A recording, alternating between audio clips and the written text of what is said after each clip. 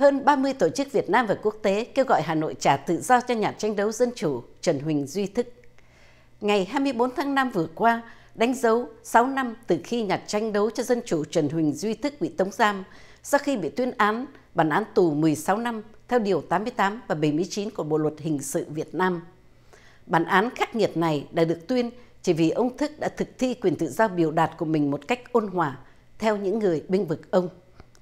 Tổ chức Freedom Now tại Hoa Kỳ là một trong các tổ chức và cá nhân đã ký vào bản kiến nghị yêu cầu Hà Nội lập tức phóng thích tù nhân lương tâm này.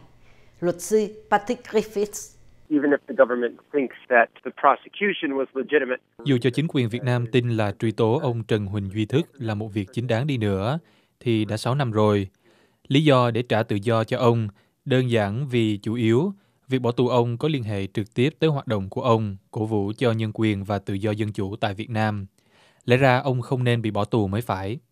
Ngày 20 tháng Giêng năm 2010, trong một phiên tòa diễn ra trong một ngày, ba người cũng bị truy tố với ông Trần Huỳnh Duy Thức trong vụ án, gồm có luật sư Lê Công Định, thạc sĩ Nguyễn Tiến Trung và ông Lê Thăng Long, bị cáo buộc là tội hoạt động nhằm lật đổ chính quyền nhân dân theo Điều 79 của Bộ Luật Hình sự. Ông Thức nhận án tù 16 năm kèm theo 5 năm quản chế, trong khi ba người kia lần lượt nhận các mức án 5 năm, 7 năm và 5 năm tù kèm theo 3 năm quản chế.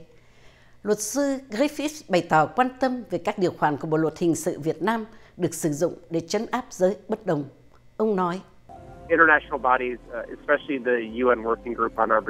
các tổ chức quốc tế, đặc biệt là Ủy ban điều tra về bắt giữ tùy tiện của Liên Hiệp Quốc,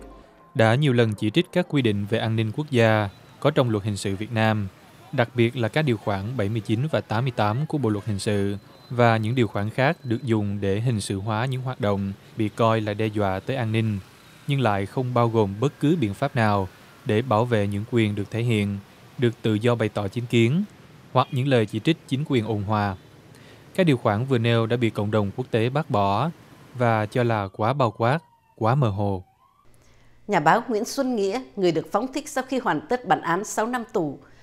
nhận định về trường hợp của ông Trần Huỳnh Di Thức như sau. Tất cả chúng tôi đều phát biểu cái quan điểm chính trị cũng như đòi hỏi phải ừ, cải tổ cái hệ thống chính trị, trong đó có yêu cầu phải đa đảng và phải đa nguyên. Thì tất cả mọi người hầu như là đều bị quy vào tội. Tuyên truyền chống nhà nước nhân riêng anh từ Di thức thì họ được quy vào cái tội lật đổ chính quyền nhân dân bởi vì tinh thần của anh ở trong cái những cái cuộc điều tra của cảnh sát cũng như là ở trong các phiên tòa thì anh rất là vững. Và vào cái thời điểm ấy thì sức mạnh của quốc tế cũng như là cái áp lực nó không đủ lớn. Anh ấy sống tận trong Sài Gòn còn tôi thì ở ngoài Bắc và tôi thì cũng là 6 năm sau khi ra tù thì tôi mới biết là tôi cũng có hiểu về tất cả những vấn đề của anh ấy và tôi nói thật với chị là tôi mặc dù thông tin của anh rất ít nhưng tôi rất cảm phục tinh thần của anh ấy. Luật sư Griffiths nói ông Trần Huỳnh Duy Thức, một doanh nhân và cũng là một blogger bị cầm tù chỉ vì thực thi quyền công dân là một điều vô cùng đáng quan tâm. Ông nói ông có cùng một thông điệp để gửi đến cá nhân ông Trần Huỳnh Duy Thức và các tù nhân lương tâm đang bị giam cầm ở Việt Nam và cho chính quyền Việt Nam.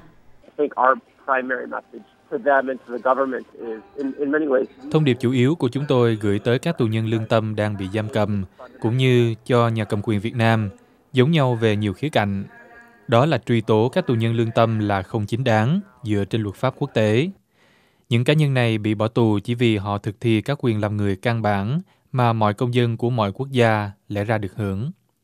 Chắc chắn là Freedom Now và các tổ chức bạn sẽ tiếp tục làm việc trên các hồ sơ này và chú ý tới các trường hợp đó cho tới khi tất cả các tù nhân lương tâm được trả tự do. Chúng tôi không có ý định bỏ dở nhiệm vụ của mình là bên vực cho các quyền của tù nhân lương tâm. Cha của Trần Huỳnh Duy Thức, ông Trần Văn Huỳnh, công khai ủng hộ lập trường của tù nhân lương tâm này. Ông kêu gọi cung lý và khẳng định sẽ tranh đấu tới cùng cho con ông.